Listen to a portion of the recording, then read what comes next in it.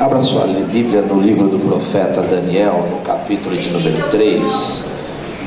Livro do profeta Daniel, capítulo de número 3.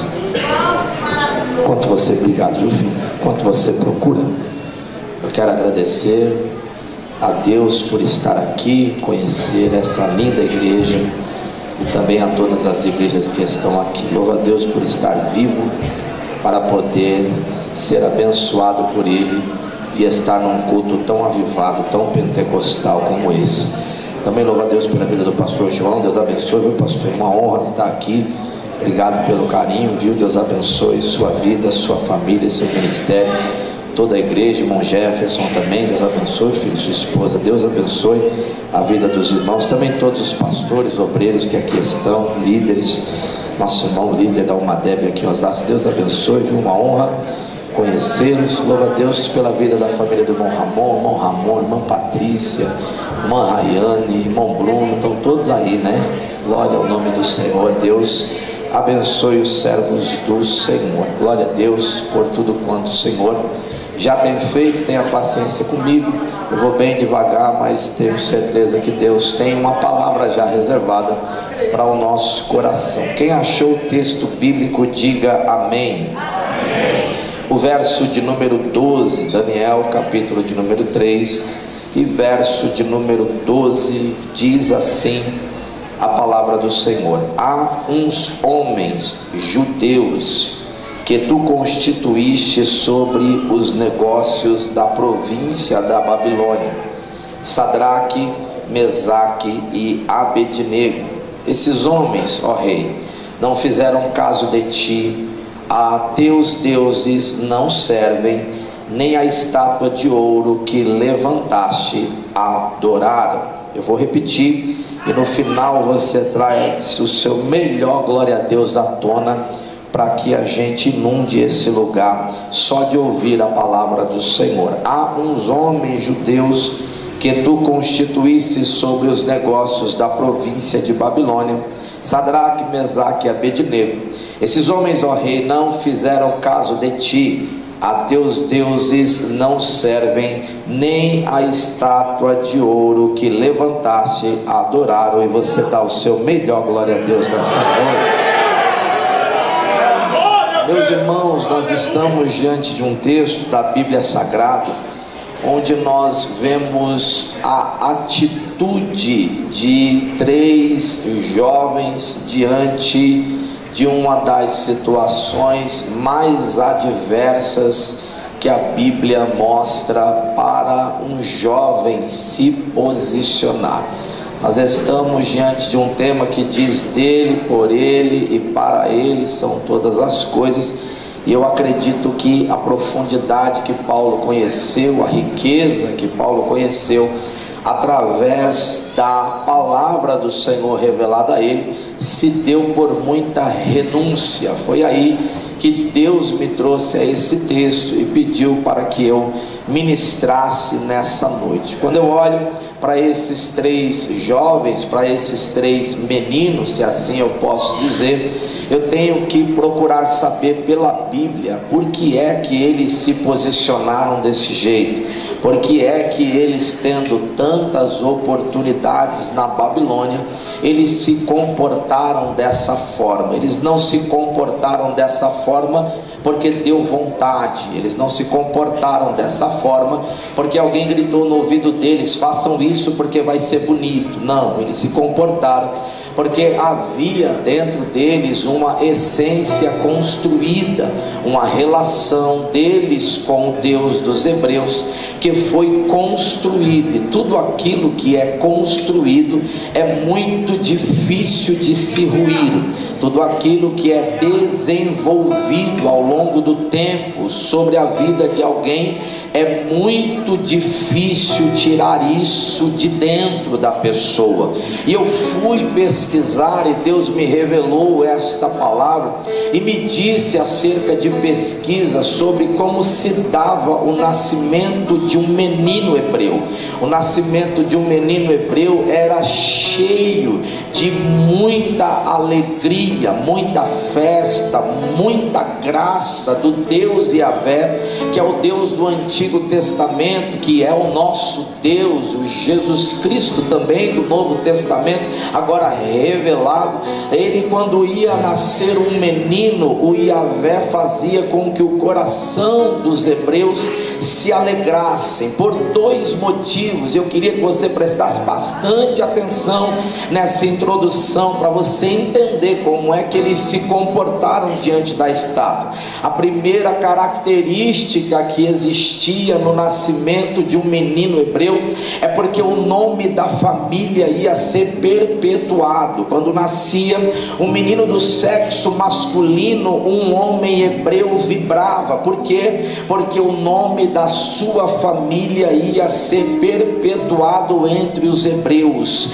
Quando nascia um menino do sexo masculino, o homem hebreu vibrava muito, porque ele dizia: O nome da minha família não vai ser apagado da história de Israel.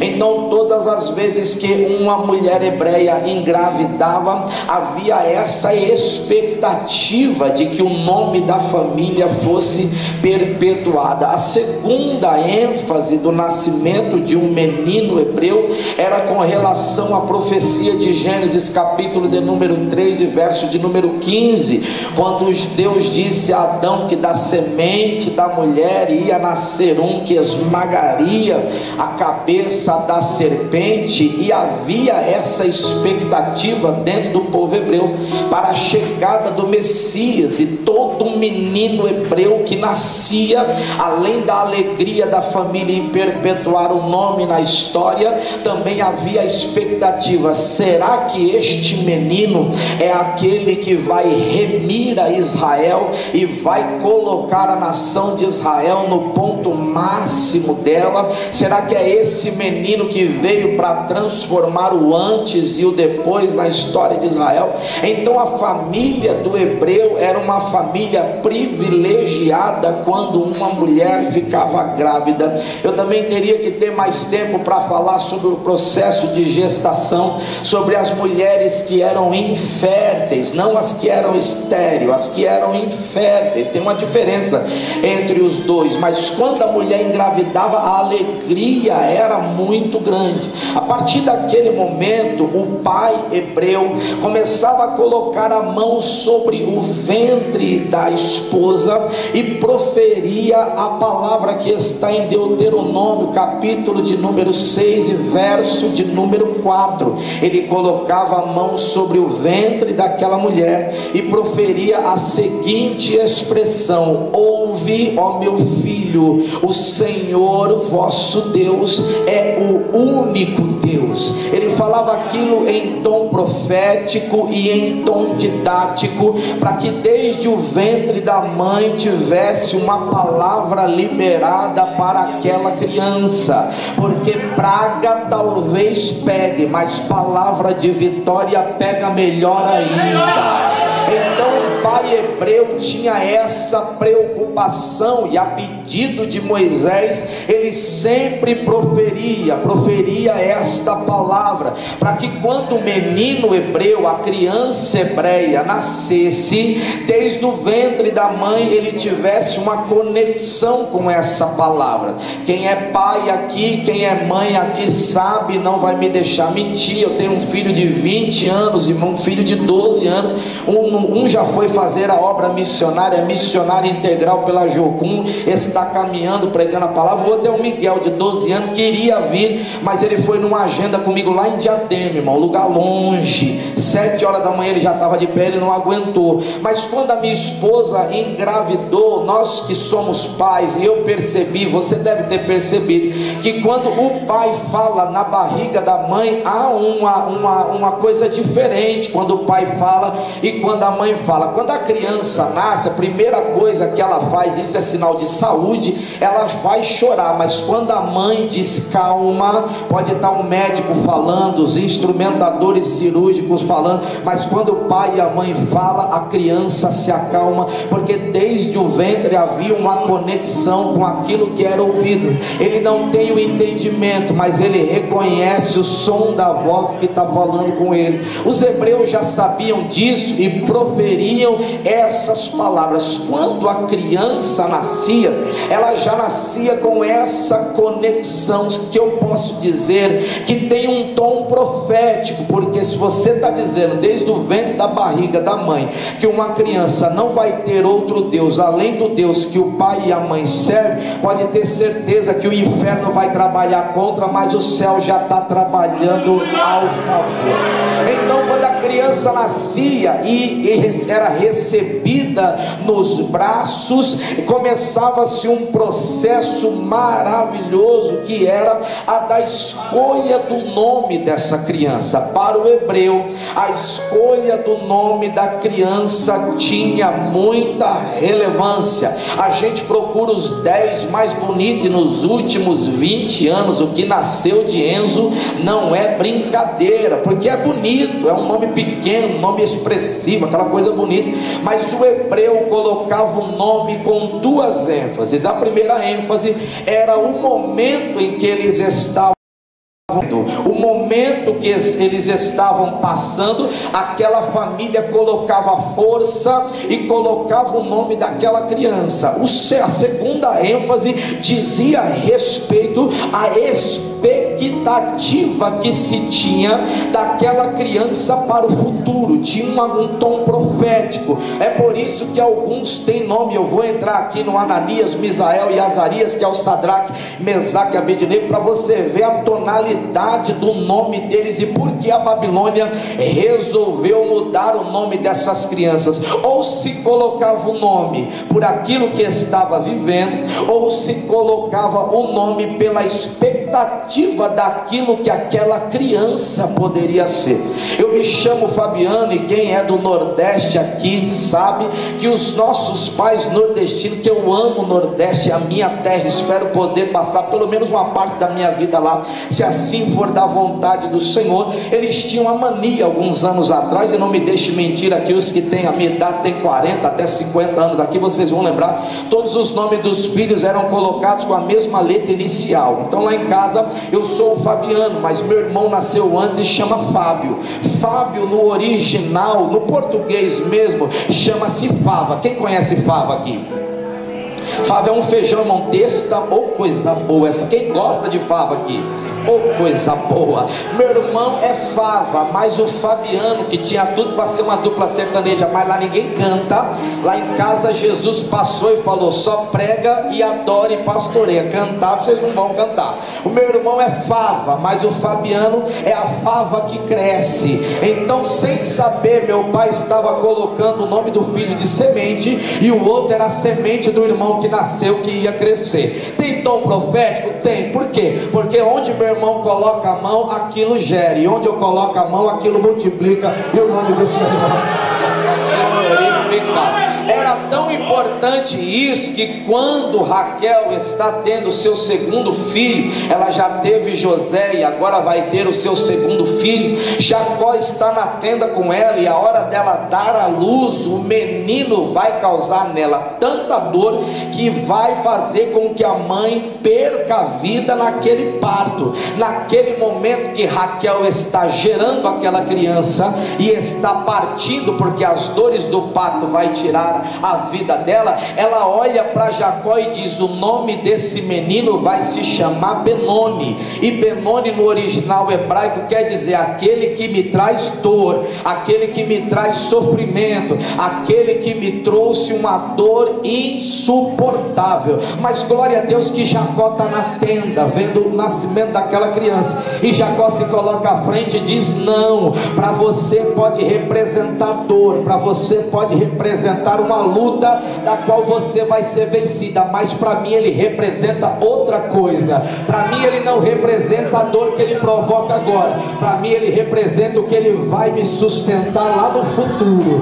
Aí mandou colocar o nome da criança de Benjamim. E o nome Benjamim quer dizer o filho da destra, o filho da direita. É como se Benjamim fosse uma bengala para que o pai, na alta idade, pudesse se equilibrar através de Benjamim. E não é que Jacó era profeta naquele momento para colocar o nome do filho, porque quando venderam José e Jacó achou que José tinha morrido, Jacó não deixava Benjamim sair de casa de jeito nenhum, com medo de, do filho mais novo, a preciosidade dele morrer, como ele imaginava que José tinha morrido. Tanto é que quando os filhos descem ao Egito, a primeira coisa que José pergunta é: o pai de vocês está vivo? Eles dizem: tá. Vocês não têm mais irmãos? Eles dizem sim. Então traga eles aqui. Ele falou: papai, não deixa, porque o que está lá é o sustento, é aquele que equilibra o meu pai. Porque a gente tinha um irmão que morreu, eles não reconheceram José. A gente tinha um irmão que morreu, mas o que está lá, o pai ama igual amava o primeiro, e ele tem sido o sustento, o equilíbrio, ele tem sido aquele que tem segurado papai de pé. Jacó naquele momento viu Benjamim lá na frente. Oxalá que hoje tem alguém aqui que anos atrás, quando nasceu, a mãe falou: Esse aí vai ser uma bênção, vai ser diferente dos demais. A família pode ter até um histórico difícil, mas quando chegou na minha e na sua vez, Deus mudou a história, Deus mudou toda a situação. E o nome do Senhor foi glorificado. Você pode levantar uma das mãos e adorar o nome do Senhor, porque eu estou falando do passado, mas para falar do presente e apontar para o futuro, porque tem muita gente aqui que vai ser pastor, pregador, missionário, missionário, vai ganhar alma, vai despovoar o inferno, e o nome do Senhor vai ser glorificado. Se é verdade isso, levante a tua mão e adore.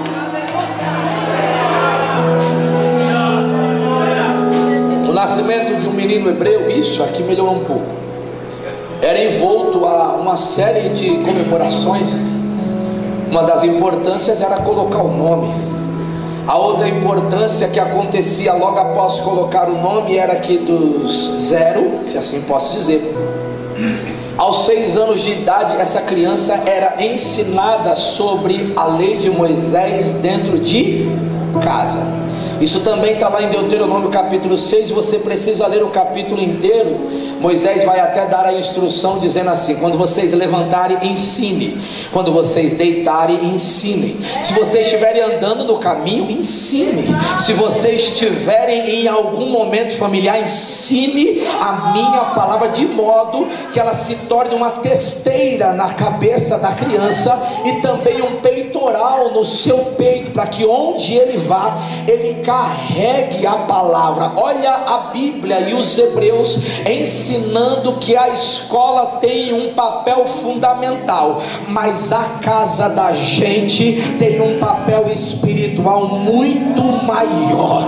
Por quê? Porque na nossa casa a gente tem que trocar as palavras que a gente traz de maldição por palavra de vitória, porque os nossos filhos serão bênção para a glória do nome do Senhor. Até os seis anos, eles são ensinados dentro de casa.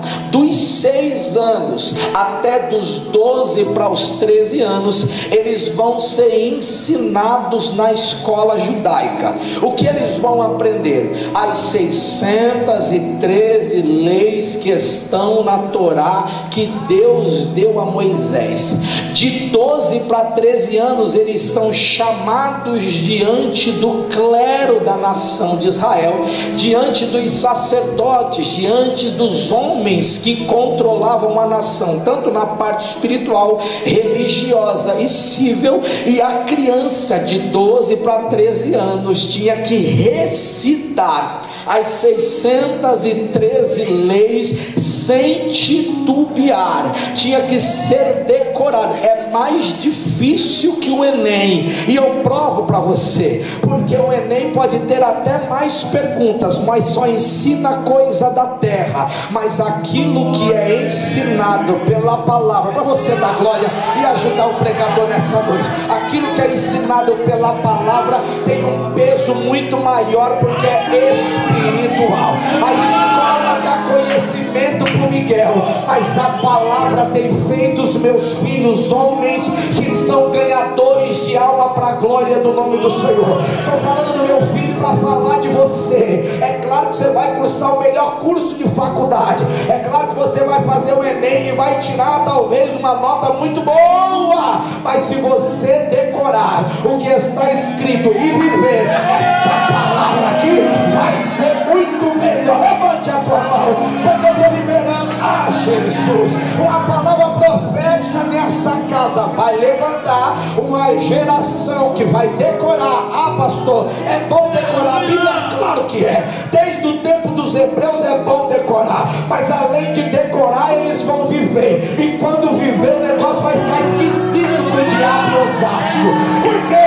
Porque a gente vai rebater o pecado e o diabo pela palavra e pela adoração que tem palavra. Levante a tua mão que eu estou liberando a palavra. Está vindo aí, pastor, uma geração para ajudar.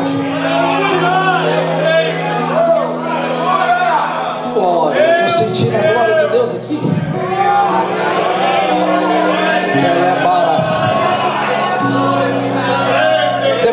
sabatina com a liderança da igreja, eles eram emancipados. Repita comigo: emancipados. O jovem hebreu era emancipado de 12 para 13 anos. Ele tinha que responder já civilmente, a gente aí brigando para baixar a maioridade, porque a gente acredita que de 16 anos, 15 anos, ninguém tem consciência daquilo que está fazendo. Olha os hebreus ensinando a gente desde aquela época. Eu dei toda essa introdução, falei dessa emancipação da Torá, falei do nascimento, da importância do nome. Segura aí mais um pouquinho, fica comigo dando glória a Deus, que já já a gente vai para casa. Para dizer que no texto que eu li, Nabucodonosor sabe de tudo isso. Nabucodonosor é um grande líder que despontou na ocasião e através do seu chefe do exército chamado Nebuzaradã, ele tinha todas as informações de todas as nações que ele ia invadir, e a Babilônia tinha a característica de tirar as pessoas que estavam em seu território e levar elas como escravas para o território deles. Nesse momento que Nabucodonosor quer povoar a Babilônia e conquistar todo mundo, ele vai achar em suas pesquisas uma tal de uma terra que mana leite e mel.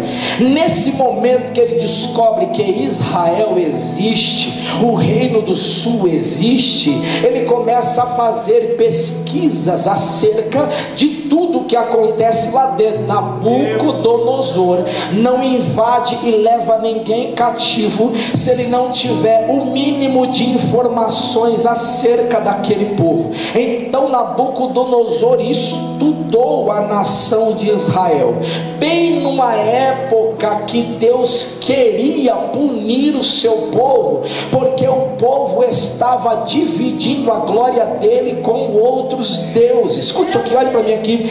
Deus não estava com ciúmes porque o povo trocou ele pelos deuses. Deus estava enciumado e nervoso porque eles queriam andar com Deus e andar com os deuses pagãos. Eles queriam Deus de dia, mas queriam os deuses pagãos à noite. Eles queriam servir a Deus quando dava vontade, o Deus Yahvé, mas era só ter uma festa pagã que eles iam para aquela festa e lá adoravam outros deuses. Porque quando a gente abandona o nosso Deus, não é idolatria, é apostasia.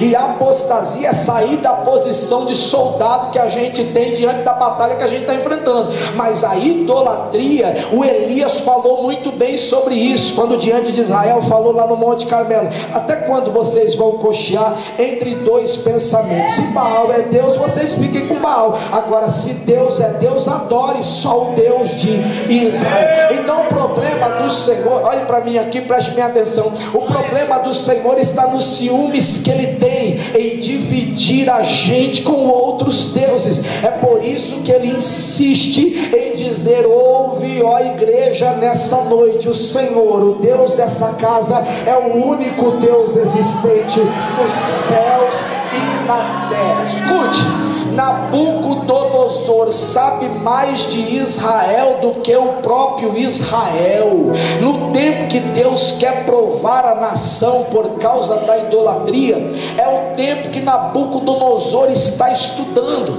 e Nabucodonosor está vendo qual é o jeito, o trejeito, a mania, a cultura, a roupa, o nome, o idioma. Ele está estudando. Sabe quanto tempo Nabucodonosor gastou, segundo as contas dos historiadores, aproximadamente 19 anos para entrar em Israel por três vezes e assim acabar com a nação. Por quê? Porque ele sabia que Israel era poderoso, porque tinha um Deus que realizava proeza, já tinha derrubado o Egito, já tinha feito coisas assombrosas na face da terra. Então ele vai ter tempo. Quando ele invade a primeira vez Israel, isso está lá no livro de 2 Crônicas, capítulo de número 36. Ele vai levar só duas coisas. Ele invade, pastor, e o senhor sabe disso, mas ele vai levar só duas coisas: os utensílios de adoração do templo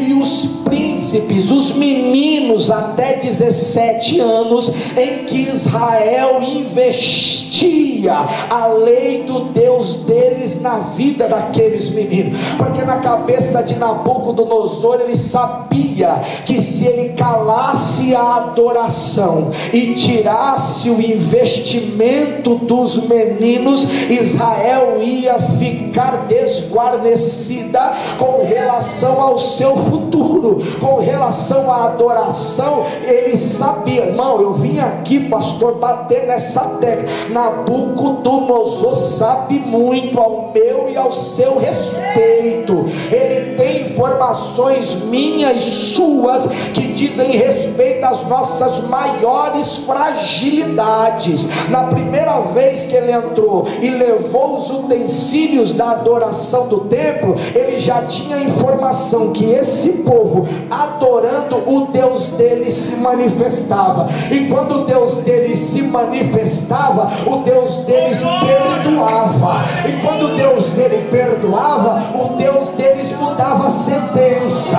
Eu estou pregando hoje aqui porque o que cabia lá cabe aqui. Por que, que o diabo quer que a gente pare de adorar? Porque se parar de adorar, acaba a manifestação de Deus. E se acabar a manifestação de Deus, como é que vai nos perdoar pela sua infinita misericórdia? É por isso que o diabo não queria que o congresso acontecesse. Parece que é chovendo molhado, mas não é. Eu não preciso estar aqui para dizer a essa igreja que foi uma luta, uma prova, fazer esse congresso, reunir tanta gente num sábado que podia estar gente aí, elas quermesse, adoidada aí, pastor. Mas está todo mundo reunido aqui para dar glória.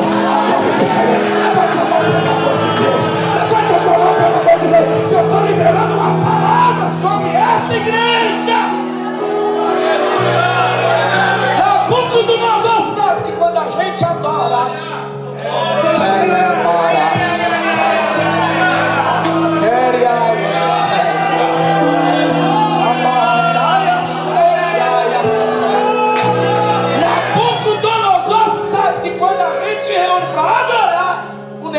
esquenta. E quando esquenta, é Pentecoste, é poder de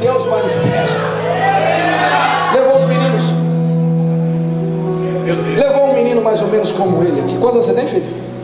15. Tá grande para 15, hein? Isso é alto. Deus não me deu essa graça de ser alto. Até queria, mas não deu, não deu certo. Lá em casa todo mundo de 1,60m, 69 no máximo. Levou os meninos.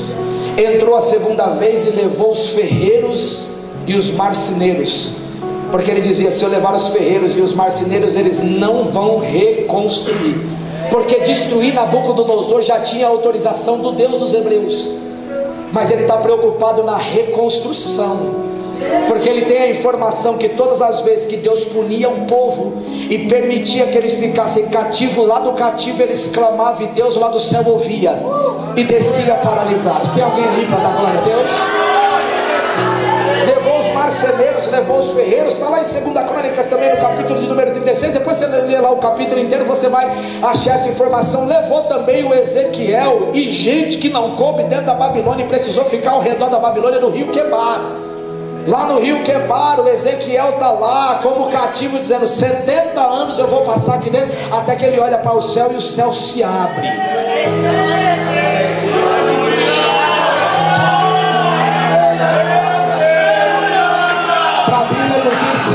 Mesmo em cativeiro o céu se abre. Mesmo em época difícil o céu se abre. Tem alguém aí para dar glória a Deus?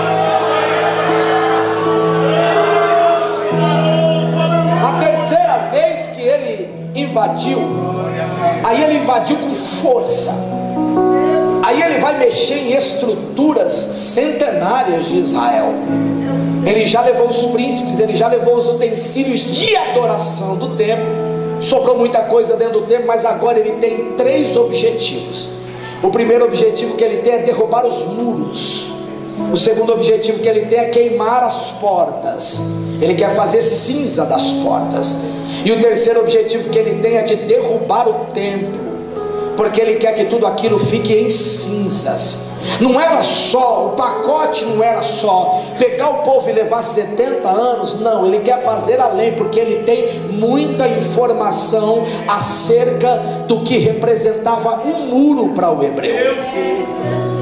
Um muro para o hebreu é como hoje, eu e você rodeado por anjos que estão ao nosso derredor. Sabe que porta queimada fala de acesso que deixou de existir. Ele está querendo dizer: olha, tá tudo livre. Aí entra quem, ó, entra quem quer, bagunça quem quer. E, de, e quando ele derruba o templo, ele está dizendo: eu estou derrubando. A maior imagem que o Deus de vocês ainda é vivo e poderoso. Nabucodonosor sabe muito, irmão. Escute aqui, jovem, adolescente. Eu estou falando deste tempo aqui para falar do tempo atual. O Nabucodonosor, que é o inimigo das nossas almas, ele prefigura a imagem do diabo. Irmão, estou sentindo meu corpo aqui pegando fogo, e não é verbete de pregador, até porque eu não sou pregador itinerante, eu sou pastor de igreja, por misericórdia de Deus, e eu sei o peso que tem o pastor me ceder esses minutos aqui, para eu pegar uma palavra para essa juventude, faço isso com muito temor e tremor, mas eu saí de casa e Deus falava ao meu ouvido: diga a eles que Nabucodonosor sabe muito a respeito deles, sabe da fragilidade, sabe aonde dói, sabe aonde você é fraco, sabe que prato você diz não, mas que prato que você anda aceitando. Ele sabe que se tirar a adoração, ele sabe que se tirar os ferreiros que estão aqui. Tem ferreiro aqui, irmão. Tem jovem aqui que é jovem construtor de igreja. Estou liberando uma palavra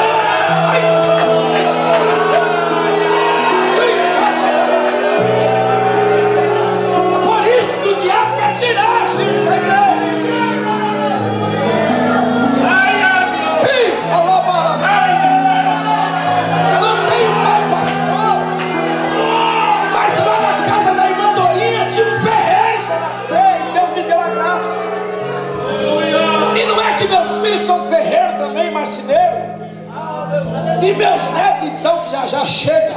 Eita. Mas seu nome vai ficar envaidecido quando for vô. Então são, são ferreiros. A gente é ferreiro. Eu dirigi uma mocidade lá em Diadema por 12 anos. E eu falei, vão me queimar, estão me queimando, que é isso? 12 anos, pastor me tira desse grupo. Quando deu 5 anos, eu falei, vou preparar o que vai ficar no meu lugar. Fiquei mais sete depois dos cinco. Eu achei que estavam me, que me queimando, eu achei que estavam segurando meu ministério. Não, era Jesus preparando, era Jesus colocando a gente na roda dele. Porque vir pela roda do homem tem tempo de duração, mas quando vem pela roda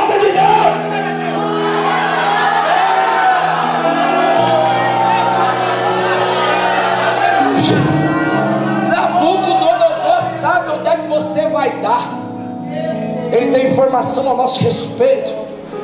É por isso que ele fez toda essa trama e levou os meninos para dentro do palácio. Deixa eu correr. Levou os meninos para dentro do par? Bem forte, levou os meninos para dentro do par?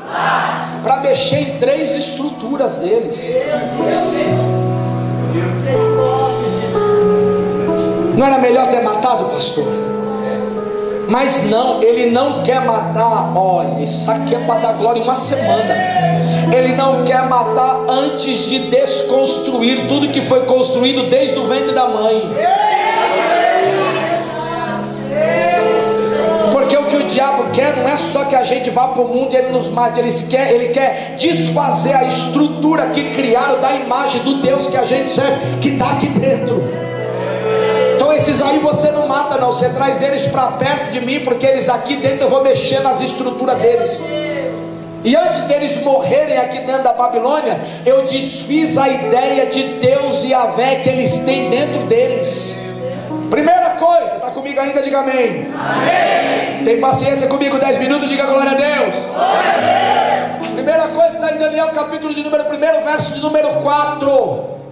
Muda o idioma deles. Traz eles aqui para dentro, irmão Jefferson. E ensine a eles toda a ciência dos caldeus. Porque eu não quero hebreu aqui falando a mesma língua.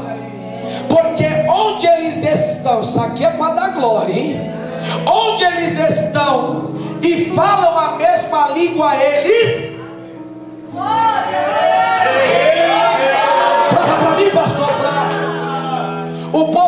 no Egito não ficou no Egito inteiro. O povo hebreu no Egito, os irmãos aqui sabem, mas eu quero fazer uso dessa informação. Ficavam numa região chamada Gósen. E na região chamada Gósen é um mini Israel dentro do Egito. Olha o problema que Faraó teve deixou todo mundo muito perto, falando a mesma língua dentro do Egito. E falar a mesma língua dentro do Egito é sinal que a gente não vai perder a nossa identidade, mesmo. É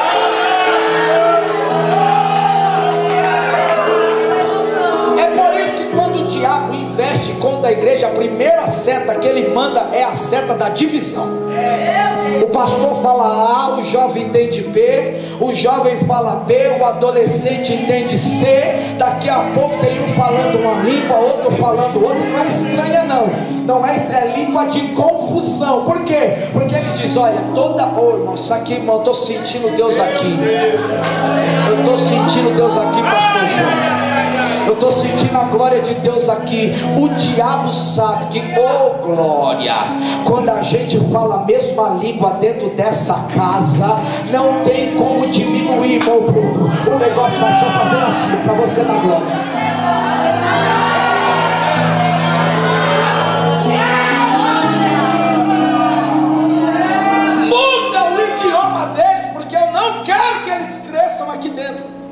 desconstrói o dialeto hebreu dentro da Babilônia, porque eu não suporto quando eles falam do jeito deles e se comportam do jeito deles. Assim é o diabo hoje. Querem mudar o nosso jeito de falar. Querem dizer o que, que a gente pode pregar ou não. Olha só, vai ficar difícil, viu? Vai ficar, o negócio vai ficar estreito. Mas a gente vai continuar falando a mesma língua. Pregando a mesma palavra. Espiritual. Que é o que desceu no dia de Pentecostes. Cadê você para levantar a mão e adorar? Estou sentindo a glória de Jesus. A segunda estrutura que Nabucodonosor mexeu foi na veste. E aqui eu não vou falar de uso e costumes. Pastor João está aqui, tem falado e Deus tem usado a vida dele poderosamente. Eu vim falar de postura. Eu vim falar não só da roupa que veste, mas como anda e que jeito anda. Porque na Babilônia eles querem que todo mundo se vista igual para ninguém identificar ninguém diferente, para que ninguém lá fora diga assim: quem é aquele ali? Aí alguém diga: esse aí é hebreu.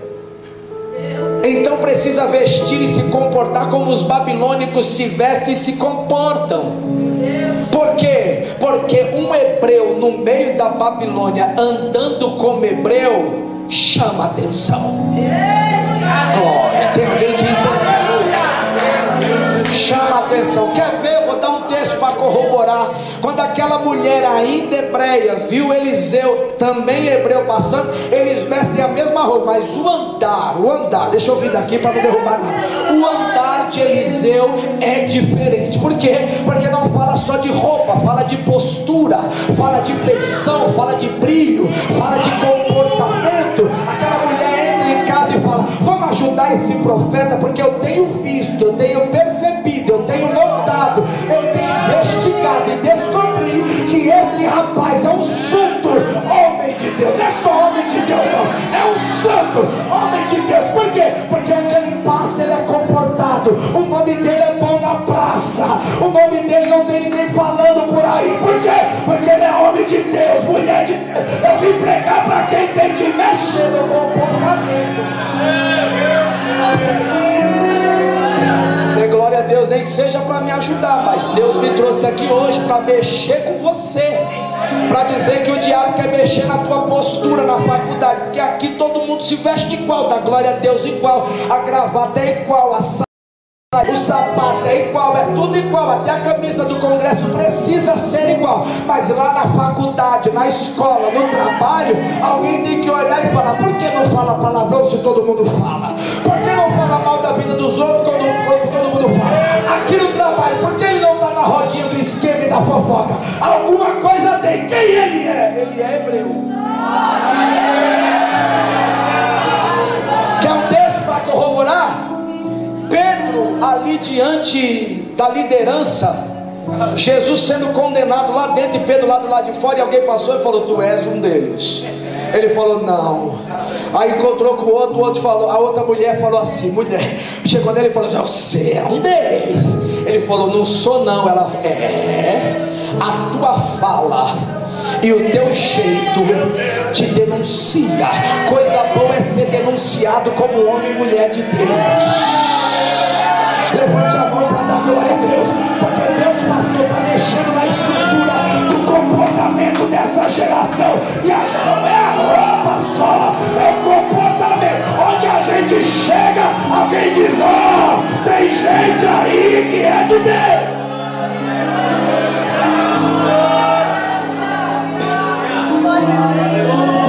Terceira estrutura que ele vai mexer é na estrutura do nome muda o nome dele. Isso aqui é para você dar glória. Aqui na Babilônia ninguém pode ter o nome dos hebreus. Porque eu tenho, a, olha na boca do nosso pastor, eu tenho a informação que o nome deles diz respeito ao que eles viveram quando nasceram, ou a uma projeção profética sobre o que eles serão. Eu vou recitar o que o nome de cada um deles simbolizava e representava. Mas você dê glória a Deus com vontade, porque Nabucodonosor está mexendo no gênero, porque ele sabe quanto vale a identidade de um homem e de uma mulher criado por Deus. Olha o nome do Ananias o nome do Ananias que trocaram para Sadraque, eu não tenho tempo para falar o que representa o Sadraque, não vou gastar, vou gastar tempo que representava o nome dele como hebreu, para não dar ibope para o inimigo, para o inimigo não ficar falando dele aqui. Mas o Ananias que teve o nome trocado para Sadraque, o nome dele é Jeová é gracioso, Jeová é o Deus da graça, Jeová é o Deus da misericórdia, ele está lá cativos, pastor. Mas ninguém quer que gritem assim, ô oh, Ananias, porque por trás de um grito, Ananias, está dizendo: o Deus desse menino é o Deus da graça.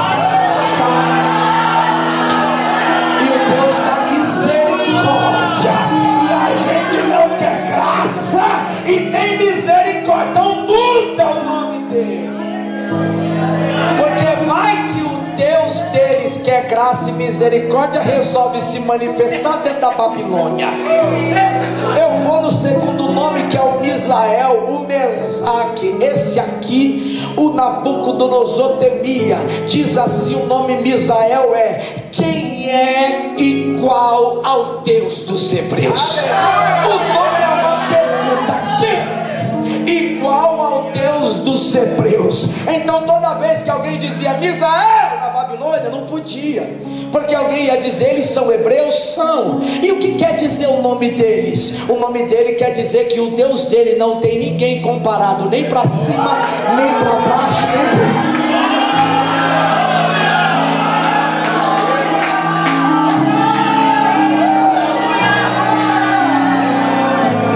Levante a mão para dar glória.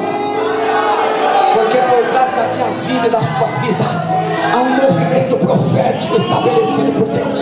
É por isso que os outros aí querem mudar os gêneros, querem mudar as nossas formas, querem dizer que a gente é o que eles imaginam que a gente deveria ser, mas a gente é hebreu, a gente é filho do Deus vivo, a gente é irmão de Jesus Cristo, a gente é salvo, a gente é cidadão do céu, a gente está aqui, daqui a pouco a gente volta para casa. Levante a mão e adore, adore, adore.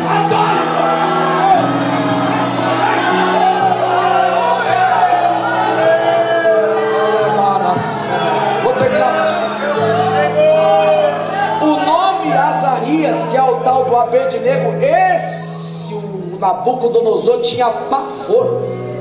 Meu Deus. Porque o nome, depois você vai pesquisar, você vai achar, até no Google você acha. Se você for para os dicionários bíblicos, aí você vai ter até mais informação do que essa. Mas o nome Azarias que trocaram para Abednego, quer dizer, oh, isso aqui é para dar glória em uma semana. Nabucodonosor tinha pavor do nome do Azarias, porque o nome do Azarias é Jeová tem ajudado. Escute, não é o Jeová que ajudou, e não é o Jeová que ajudará, porque está fora do tempo do hoje.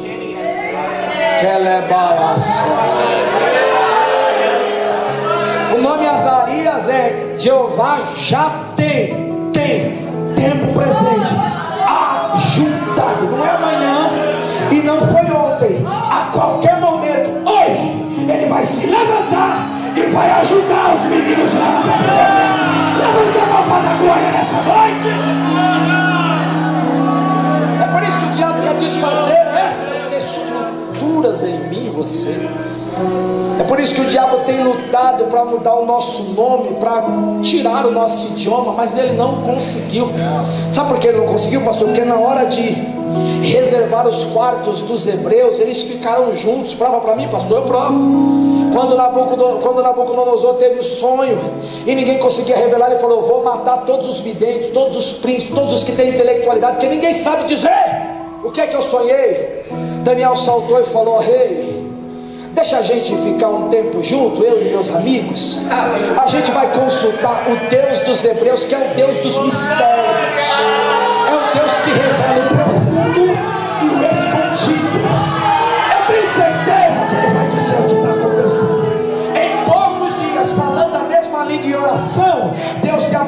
Daniel e falou: Olha, o sonho é assim para frente e é assim para trás. A hora que você falar para ele, ele vai saber que ainda tem Deus que revela mistério para quem fala.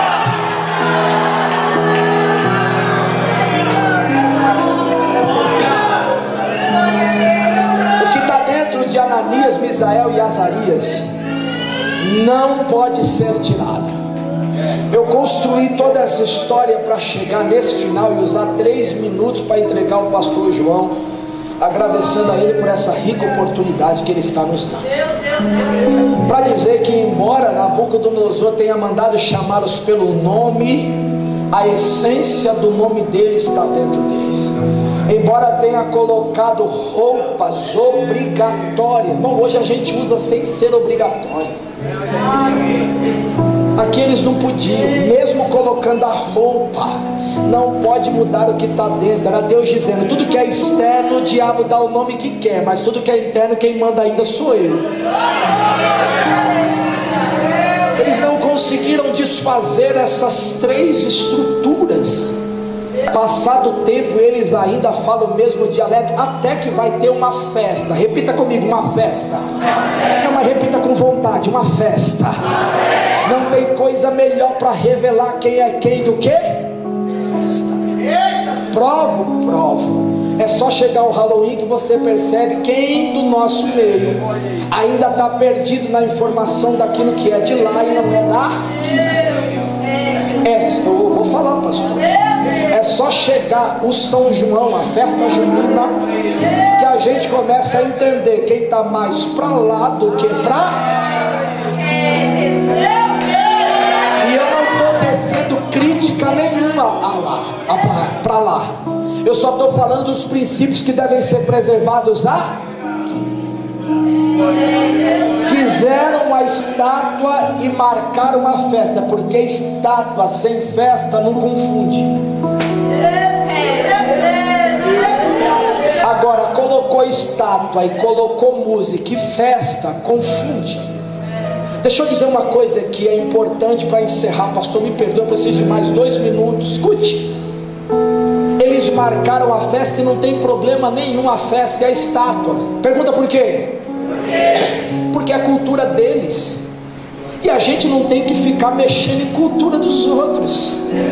Quem tem a sua cultura que siga. A gente não tem a nossa e segue. Então não tem problema, ele pode fazer uma estátua três vezes maior do que a de Nabucodonosor e colocar a música que ele quiser. O que vai fazer a diferença é quem vai se prostrar ou não.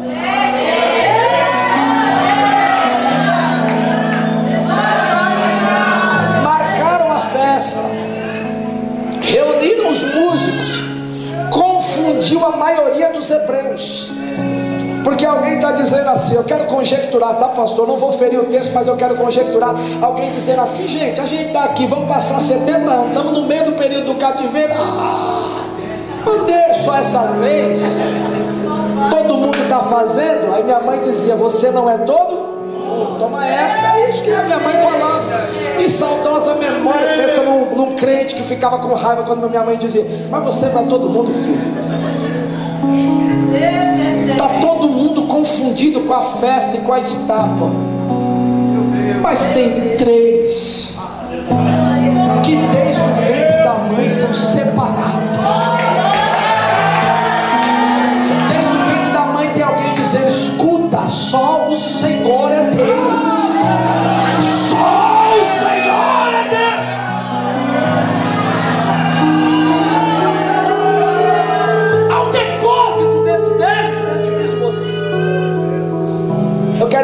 Os três estão um olhando para o outro e eles estão muito bem resolvidos, tá? Porque se um, olhe para mim aqui, se um tivesse convencido o outro, o texto mencionaria: ninguém convence ninguém. Eles estão convencidos pela essência que está dentro deles. Porque eu não preciso que alguém me convença sobre o princípio que foi depositado dentro de mim. É só tocar a música para você ver que eu não vou me prostrar. Está dizendo assim: Eu não vou. O outro falou: Eu não vou. E o outro falou: Eu não vou. Olha só.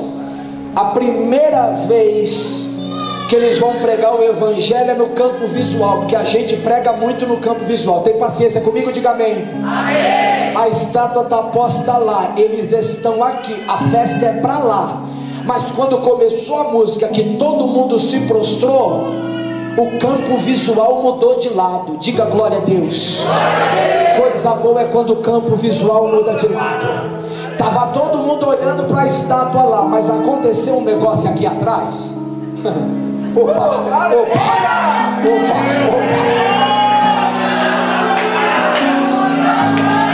Eu todo mundo só para isso, para que quando a música tocar e todo mundo estiver virado para lá, alguém olhe para trás e pergunte: por que, que aquele rapaz ali não.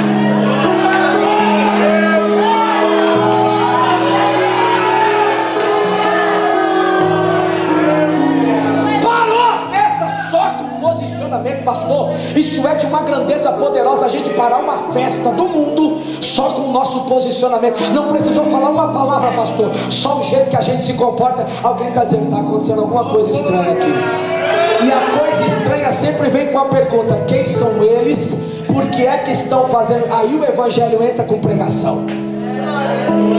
Tem pouca gente perguntando para mim, para você, quem é a gente, porque a gente se comporta desse jeito, porque está faltando em nós comportar. Quem são eles? Aí o rapaz foi lá e falou: Olha, o negócio foi colocado e vocês têm que ajudar. Diga a eles que a gente não vai ajudar. Eles voltaram lá. Aí é o texto que eu li, que há uma grandeza.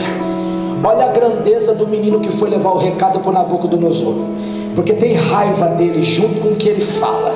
Deixa eu ler aqui que é melhor, é mais bonito. Você sabia que a leitura bíblica é melhor do que qualquer eloquência de pregador, né? Só o texto já converte, salva, liberta. Olha o que ele falou. Ah, uns homens judeus que tu constituísse sobre os negócios da província da Babilônia. O Sadraque, o Mesaque e o Abednego. Esses homens, ó rei, não fazem caso de ti, olha o posicionamento, eles enfrentaram três estruturas, eles não fazem caso de ti, eles não fazem caso dos teus deuses, e eles não fazem caso, caso da estátua que você levantou, e ela, eles não adoram ela. Eles não, ó, eu tive lá e falei com eles e perguntei por que é que eles não se prostraram. E eles eu descobri que são aqueles hebreus que não fazem caso de ti. Eles te obedecem até o momento que você não interfere na essência que está dentro deles. Você pode pôr deuses aqui para dar de metro aqui. Aos teus deuses eles não adoram. E vou dizer, você fez a estátua para todo mundo te honrar, para todo mundo te cultuar, e eles não fizeram caso nenhum e nem adoraram.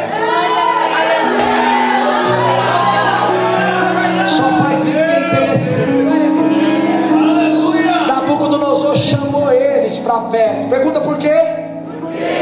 Porque sempre, ó irmão, falar com o emissário do rei é uma coisa, mas falar com o próprio rei é difícil dizer não, porque tem oferta por trás. O rei Nabucodonosor falou para eles: Eu vou dar uma chance. Porque, segundo a lei dos caldeus, para quem não adora no tempo da adoração, aos deuses caldeus, tem que ir para a fornalha. Vou dar uma chance. E os meninos falaram: Olha que o Deus de vocês precisa ser capaz para livrar. Aí um deles saltou e disse: Filho, isso aqui é glorioso. Vou terminar, pastor. Isso aqui é glorioso. O menino saltou e falou: Fica sabendo, ó rei, que o nosso Deus, segundo o nosso entendimento,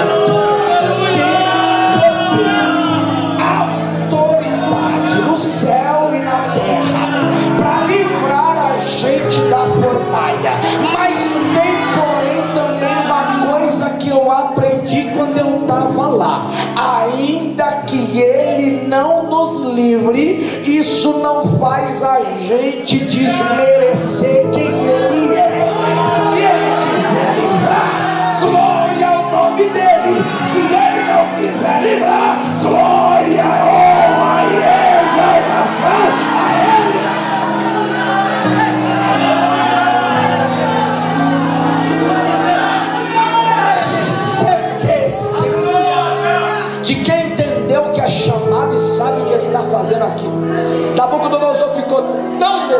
irmão, que mandou aquecer a fornalha sete vezes mais. E na abertura da fornalha, Deus pregou para ele. Quando ele abriu a fornalha, quando ele mandou os homens, perdão, abrir a fornalha, todos os homens que abriram a fornalha morreram instantaneamente. Era Deus dizendo: Nabucodonosor, não mexe com os meninos, meninos têm essência. Eu ensinei para eles lá na Judéia que a cova que abrem para eles, quem abriu é que cai primeiro.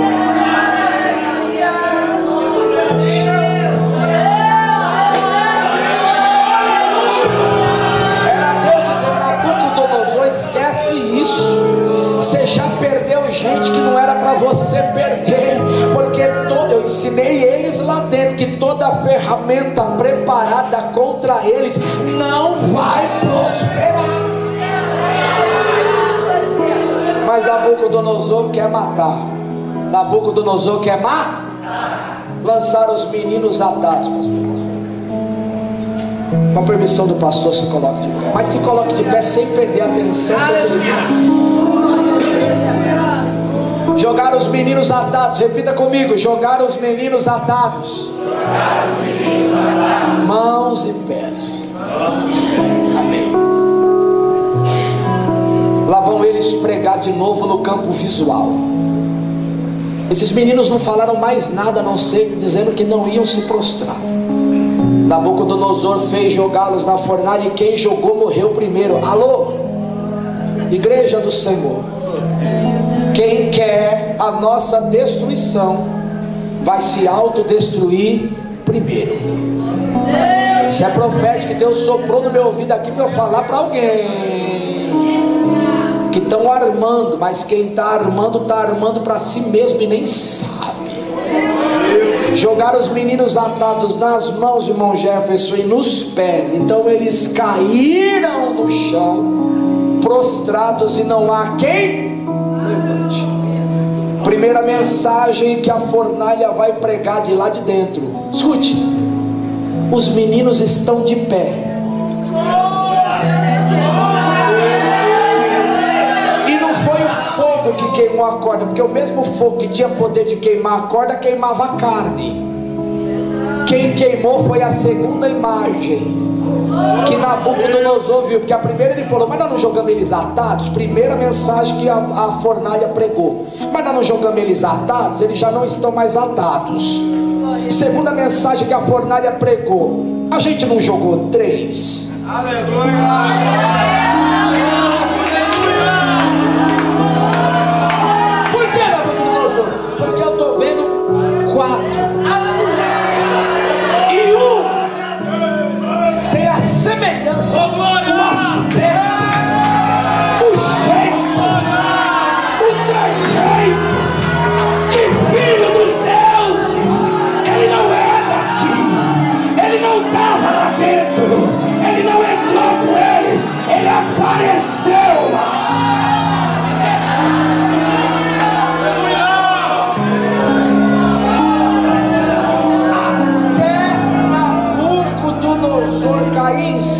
Terceira mensagem foi pregada de dentro da fornalha. Eles não estão só de pé, e agora são quatro. Pelo amor de Deus, eu preciso de duas pessoas aí. Vem, filho. Mais dois, vem, vem, filho. Você vem. Isso. Dá a mão aqui para esse pastor que você nunca viu, mas ele não é doido, Dá a mão aqui. A ter melhor aqui ou aqui? Ah, vai ser aqui mesmo. Vem cá, gente. Ananias, Misael e Azarias. Não, vamos fazer melhor. Ananias, Misael e Azarias você é o transcendental. Fica tranquilo que a gente vai ser transcendental. Porque esse corpo que é corruptível vai se revestir de corruptibilidade. Isso que é mortal vai revestir de imortalidade. Esse corpo aqui vai ser glorificado. Terceira mensagem que a fornalha pregou é: eles não estão só de pé, eles não são mais três, eles são quatro, mas eles caminham.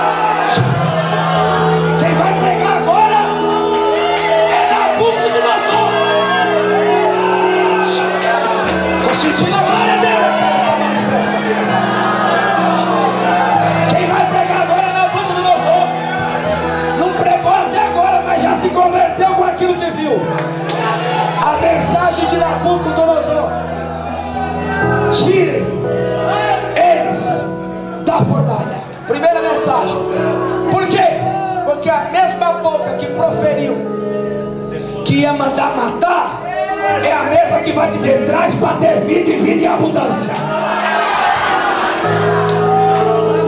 Segunda mensagem que Nabucodonosor pregou: a partir de hoje, bendito seja, olha o homem já é pregador, o Deus de Sadraque, de Mesaque e de Abednego.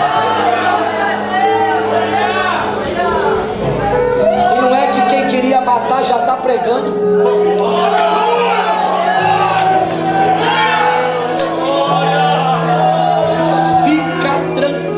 juventude de Osasco, da qual sou morador aqui há seis anos e apaixonado por essa terra. Já me sinto desde nascido aqui. Eu vou falar um dialeto popular, o senhor me permite, pastor? Não vai ferir a igreja, mas nós vamos dar uma embaçada no inferno em Osasco. Poder, autoridade e postura. Eu estou liberando uma palavra. É, normalmente o, o, índice de glória a Deus diminui porque tem muita gente ainda que acha que eu preguei uma mensagem com muita informação. Mas tem gente aqui que entendeu o que Deus quer da vida dele a partir de hoje. Está vindo uma geração aí no Conceição, primeiro de maio. Jardim